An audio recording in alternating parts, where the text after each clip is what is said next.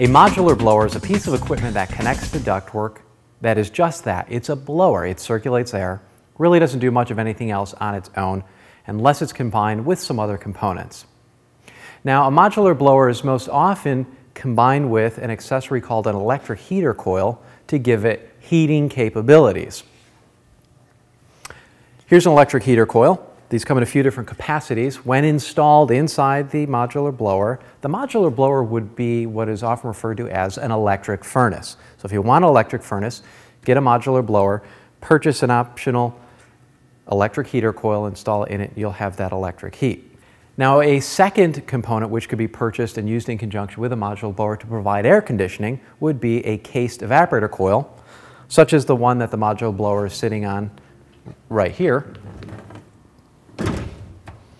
The two can be combined together, in which case it would be very similar to an air handler, except an air handler has the evaporator coil already installed inside it. But in this case, a modular blower combined with a cased evaporator coil, which comes in a few different sizes and capacities, would give the capabilities of having an air conditioning or heat pump system.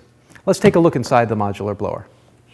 Ductwork connects to both ends of the modular blower, and that's what allows that air to circulate throughout the entire home. Now, it's circulated by the main component down here, the blower itself. Comes in two different types, standard or the better type, which is a variable speed blower, which has additional energy saving and comfort benefits. Up here is where the electrical will connect. These will be the low voltage electrical wires, which would connect to the thermostat to control it. And here's where the high voltage would connect, which will operate that blower. Now, if you choose to install an electric heater coil so that this will operate uh, as an electric furnace, provide heat, it's very easy to install it. Simply remove this plate in the back here, and I've taken the screws out already. Remove this plug.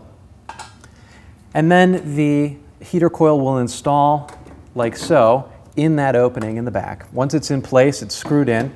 And then these two wiring harnesses are clipped to each other. And it's quite simple. The high voltage circuit then is run directly to the breaker provided with the electric heater coil.